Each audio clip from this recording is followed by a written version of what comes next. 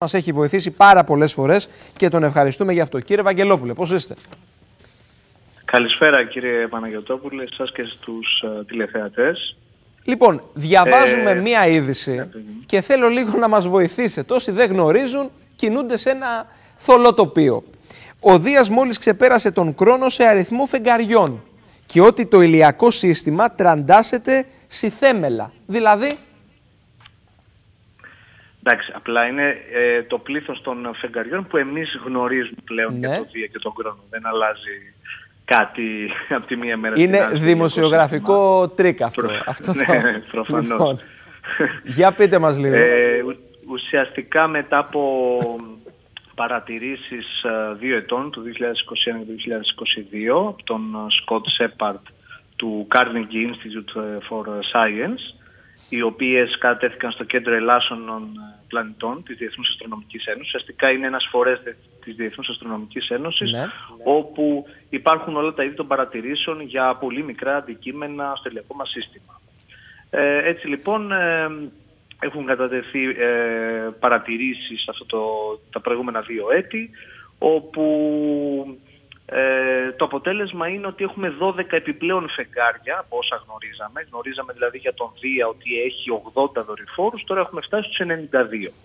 Ναι. Και επειδή ξέρουμε ότι για τον χρόνο μέχρι στιγμής, με τα μέχρι στιγμής δεδομένα, ε, έχουμε 83 φεγγάρια, ε, καταλαβαίνουμε ότι ο Δίας με 92 τον έχει ξεπεράσει. Ε, αλλά είναι το πλήθος των δορυφόρων που γνωρίζουμε εμείς. Και καταλαβαίνετε ότι κάθε μέρα στην επιστήμη προστίθεται νέα γνώση σε όλα τα είδη των... Σημαίνει κάτι αυτή η εξέλιξη στο κομμάτι της επιστημονικής έρευνας; Ε, προφανώς και σημαίνει. Ε, εγώ ένα νομίζω καλό παράδειγμα που θα έδινα είναι σαν να έχουμε μια επιστημονική δημοσίευση από βιολόγους ότι ανακάλυψαν νέα είδη ε, ζώων στα βάθη των ωκεανών, για ναι. παράδειγμα. Ναι. Προφανώς προϋπήρχαν εκεί, αλλά είναι θα σας πω γιατί κάνω αυτό το, δίνω αυτό το παράδειγμα. Ε, προφανώς ο Δίας, σαν ουράνιο αντικείμενο, δεν είναι μακριά από μας. Ε, μάλιστα το φως που λαμβάνουμε από το Δία θέλει γύρω στα 45 λεπτά για να έρθει στα μάτια μας. Δηλαδή για αστρονομικές έτσι, αποστάσεις δεν είναι πάρα πολύ μακριά, είναι στην πλανητική μας γειτονιά. Αλλά δεν είναι δεδομένο ότι επειδή είναι κοντά μας ε, τα ξέρουμε και όλα. Όπως και στον πλανήτη μας αντίστοιχα δεν ξέρουμε τα πάντα. Οπότε ανακαλύπτουμε και στον πλανήτη μας και σε άλλες επιστήμες ε, ε, καινούργια πράγματα, αλλά και στην αστρονομία ανακαλύπτουμε και, και διαφοροποιούνται κάποια δεδομένα τα οποία προϋπήρχαν; Ε, αυτά ουσιαστικά αναμένεται να τεθούν το επόμενο διάστημα, γιατί προφανώς όταν βρίσκεις σε ένα σύστημα σαν το ΔΙΑ νέα αντικείμενα, ναι. ε, νέα δεδομένα στη δυναμική εξέλιξη αυτού του συστήματος. Όπως όταν ε, ανακαλύπτεις ε, σε ένα μακρινό αστέρι κάποιον εξωπλανήτη και αργότερα Ή... ανακαλύπτεις και κάποιον άλλο εξωπλανήτη. Ήταν ήδη δυναμικό ε, σύστημα ωστόσο και ενισχύεται αυτή η δυναμική χωρίς να γνωρίζω, απλά το αναφέρω αν, ε, ναι, ναι, αν ναι, έχω δηλαδή καταλάβει. γνωρίζεις καλύτερα το πώς μπορούν να συμπεριφερθούν ε, αυτοί οι δορυφοροί. Μέσω αυτών μπορείς ενδεχομένως να ανακαλύψεις και την ύπαρξη και άλλων αντικειμένων γύρω από το Δία. Είναι μια μεγάλη ανατροπή λοιπόν; Είναι μια δημοσιογραφική κατά κάποιο τρόπο, όπως είπαμε και στην αρχή, υπερβολή.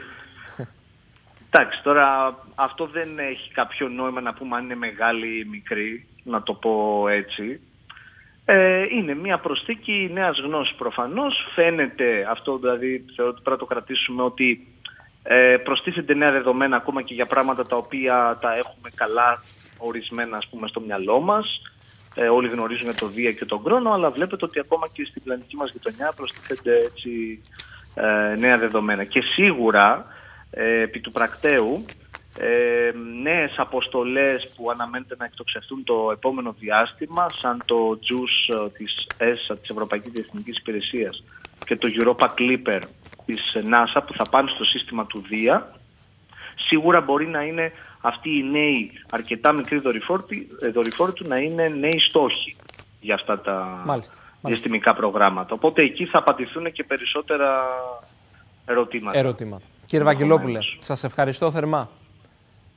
Να είστε καλά. Σας ευχαριστώ πολύ. Να είστε καλά.